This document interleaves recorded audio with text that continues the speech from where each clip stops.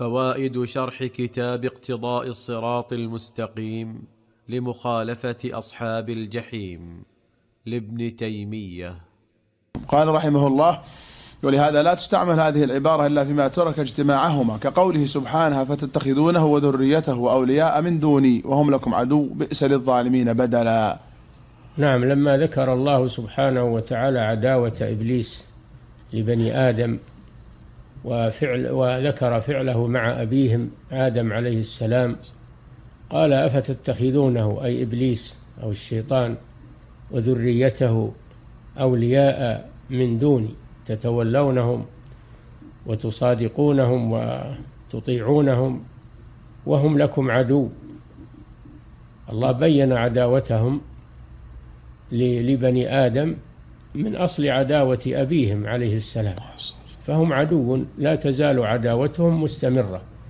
فلا يجوز للعاقل أن يتخذ عدوه صديقا أو مبغضه محبا لأن عدوه لا يألو جهدا في في الإضرار به.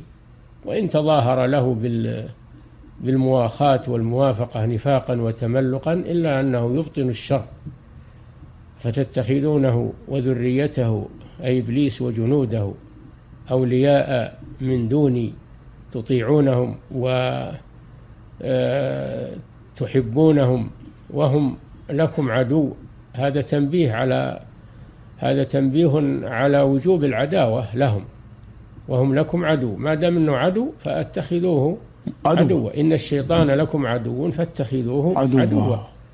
وهم لكم عدو. بئس للظالمين بدلا. هذا محل الشاهد من الآية. بئس للظالمين بدلا. بدلا. فكما أن الله أبدلنا بعيدي المشركين عيدين إسلاميين فلا يجوز أن نتخذ المبدل والمبدل ونجعله مع البدل بل نقتصر على البدل.